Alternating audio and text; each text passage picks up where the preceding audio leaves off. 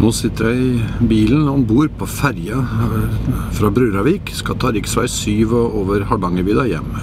Det er et nydelig vær ute i dag, men akkurat nå har vi kommet i, i skyggen for sola, så sola ses ikke under fjelltoppene foran der. Noen sender tekstmeldinger på mobilen.